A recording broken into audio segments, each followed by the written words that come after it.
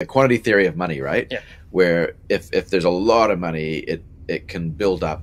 But if it's not a lot of money, but it's moving around really fast, it's Yeah. the same effect. So I'm just wondering if in this new ecosystem, are we going to be speeding up money really fast? And then again, I'm thinking more macro, but what implication does that have Yeah. around monetary policy, which then has a feedback because if the currency that you're using is now regulated by a central bank Mhm. using CBDCs, Mhm. then everything is just going to happen so much faster, isn't Yeah.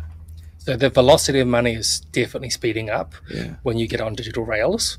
Because already you've seen the success of Easy Crypto Team's NZDD stablecoin, and that is programmable money that can move at the speed of light internet around the world. Um, it's been successful and will continue to be that way. There's a there's a demand for digital dollars, Yeah. and you know they fit perfectly into ecosystems like ours, and we're just one of hundreds that are building these financial tools for the digital realm Yeah. and having digital money that can be split up into you know eight decimal points